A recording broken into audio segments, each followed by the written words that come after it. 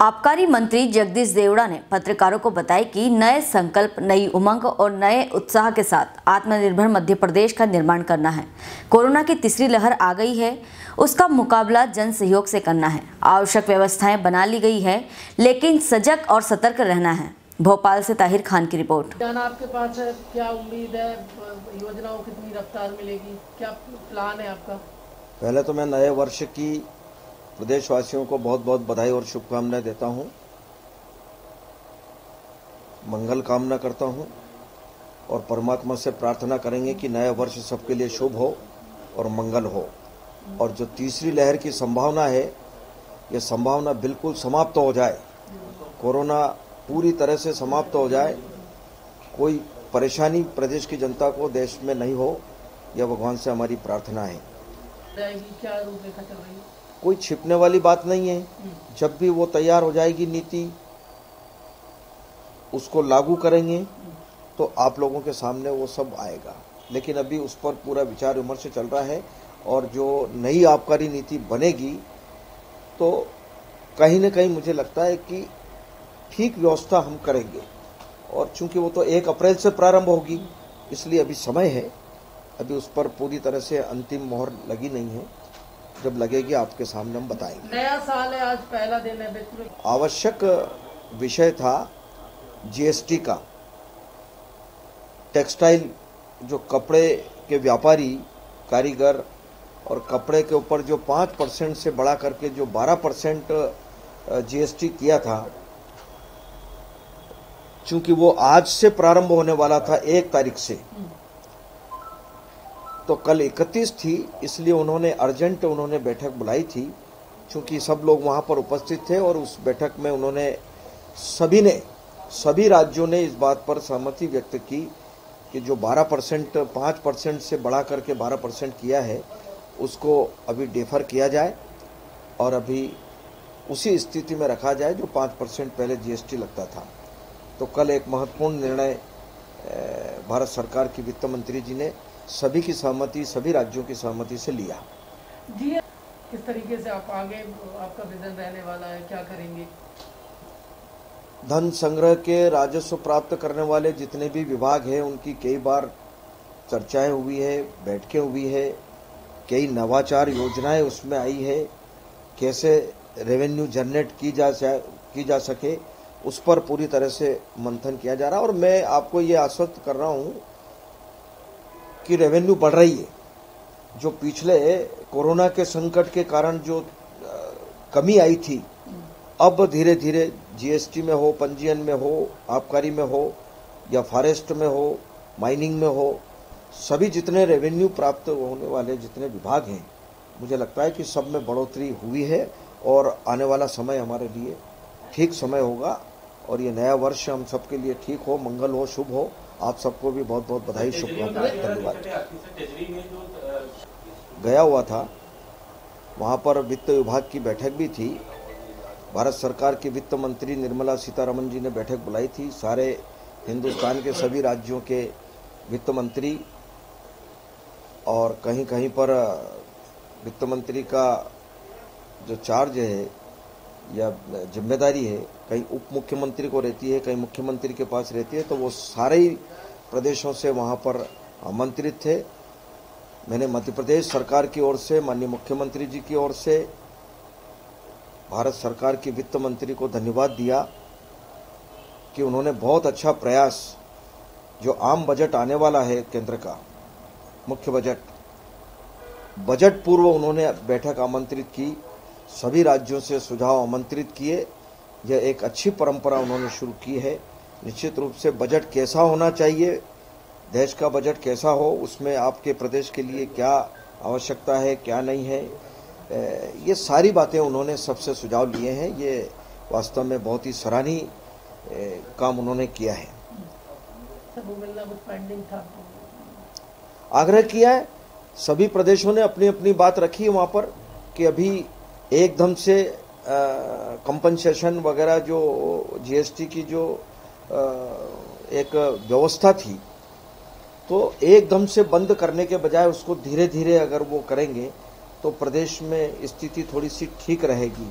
क्योंकि एकदम से बंद करना क्योंकि अभी कोरोना के संकट महासंकट से सारे राज्य गुजरे हैं तो उसके कारण थोड़ी दिक्कत हो रही है। इसलिए सबने आग्रह किया है और मध्य प्रदेश सरकार की ओर से हमने जो आपदा से संबंधित जो माननीय मुख्यमंत्री जी की तरफ़ से भी पत्र गया था और जो राशि हमने मांगी है तो उसके बारे में भी हमने सुझाव दिया है और भी मध्य प्रदेश सरकार की ओर से जो हमको रिलैक्सेशन मिलना चाहिए, ऋण लेने में जो विशेष सुविधा उन्होंने दी थी, वो शायद मुझे लगता है कि थोड़ी अब कम करेंगे, लेकिन हमने आग्रह किया कि अभी उसको रखा जाए। तो कुल मिलाकर के जो बैठक हुई है बहुत ही सारगर्भित बैठक हुई है। डाला नहीं है। न केंद्र सरकार ने डाला न मध्य प्रदेश की सरकार ने डाला। आपने देखा होगा कि सारे काम जनता के हित में किए हैं। अभी भी जब द्वितीय अनुपूरक आया है विधानसभा में तो हमने पूंजीगत मद में ज़्यादा रखा है। राजस्व मत के बजाय पूंजीगत मद में ज़्यादा रखा है हमने। और राज्य के विकास के लिए जो बेहतर हो सकता है वो सब काम हमने किए हैं। थैंक यू सारी बहुत सारे विषय पर हमने बात रखी है। हमने सभी सरकारों ने सभी राज्य सरकारों ने अपने अपने प्रस्तुति लिखित में भी दी है और कुछ प्रमुख बातों पर उनका ध्यान आकर्षित भी किया है। Thank you Umesh. सबसे पहले तो मैं कैलेंडर ईयर कैलेंडर ईयर्स के आज पहला दिन है। इसलिए इस नौ वर्ष की मैं मध्य प्रदेश के सभी हमारे प्रदेशवासियों को, भारतीय जनता पार्टी के सभी कार्यकर्ताओं को बहुत शुभकामनाएँ देता हूँ, बधाई देता हूँ। आगामी वर्ष में भारतीय जनता पार्टी अपने संगठन कार्य के विस्तार और काम के सुदृढ़ीकरण का जो हमारा अभियान है, यही हमारा इस वर्ष का चाहे प्लान कहें या आगामी रणनीति कहें, इसी आधार पर हम काम करने वाले हैं कि हमारा जो ये वर्ष है, वो संगठन पर्व का वर्ष है। श्रद्धेय कुशव ठाकरे जी के जन्म शताब्दी वर्ष पर हम बड़े पैमाने पर इस अभियान को करने का हमने जो मैंने कहा, कार्य विस्तार और कार्य के सुदृढ़ीकरण का अभियान हमने लिया है। जिसमें दो बड़े हमारे टारगेट हैं कि प्रत्येक बूथ को सक्षम बनाने के लिए।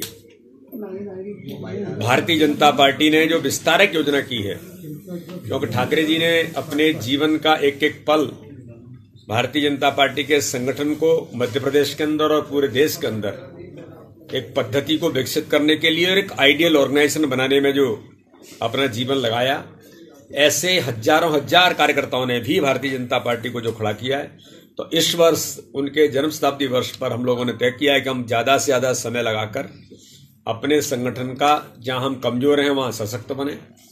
और जहाँ सक्षम है, वहाँ और हम आज के तकनीकी के युग में कैसे और अच्छे बने।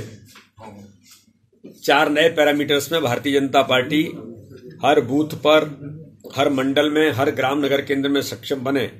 ये हमारा इस बार का प्रयास है। इसलिए विस्तारक योजना में हर कार्यकर्ता चाहे वो प्रदेश अध्यक्ष है या किसी भी स्थान पर है, सभी कार्यकर्ता समय दे करके भारतीय जनता पार्टी के काम के विस्तार में जुटेंगे, प्रत्येक बूथ को सक्षम बनाएँगे, अपने मंडल को स्वावलंबी मंडल बनाकर सक्रिय ग्राम नगर केंद्र खड़ा हो, ये पहला हमारा प्रयास होगा।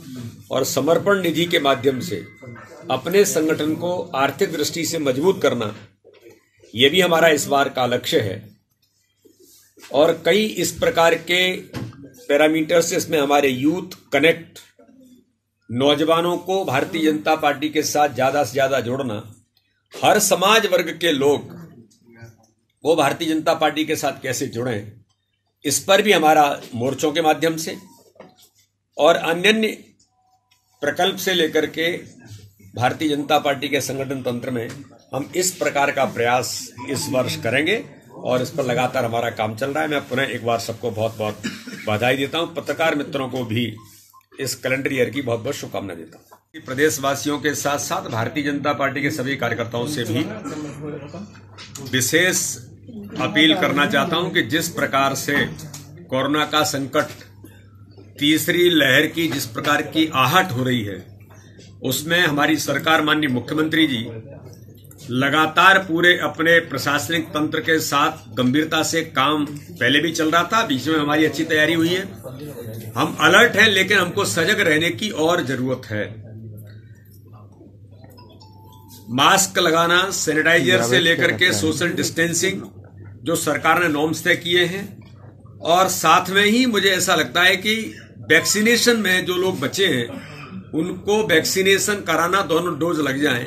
जो बचने का सबसे बड़ा माध्यम है लेकिन ये संकट टला नहीं है। आगामी समय में कोरोना के संकट में फिर हमको और सजग रहने की और सावधानी रखने की ज़रूरत है। मैं सबसे एक बार पुनः अपील करता हूँ। ठीक। हेलो फ्रेंड्स आप देख रहे हैं हमारा channel S W twenty four news हमारे सारे वीडियो सबसे पहले देखने के लिए आप हमारे चैनल को सब्सक्राइब करें और पास में लगे बेल आइकन को दबाना बिल्कुल भी ना भूलें।